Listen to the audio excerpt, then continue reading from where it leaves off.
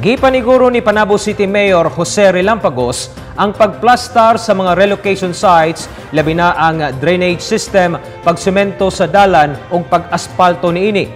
Atol kini sa pakigpulong sa mayor sa City Housing Section kalabot sa housing project sa syudad.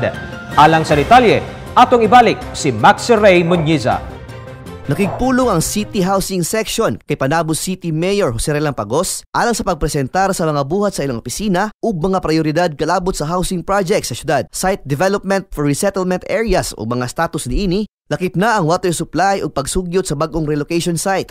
Sumala pa ni Mayor Relampagos, kinahanglan plastado ang mga relocation sites, labi na ang drainage system, pagsemento sa dalan o pag-aspalto niini. Dugang sa mayor nga kung kinahanglan tambakan daan ug ibuldos ila kuno kining atimanon daan aron plastar na ang maong site.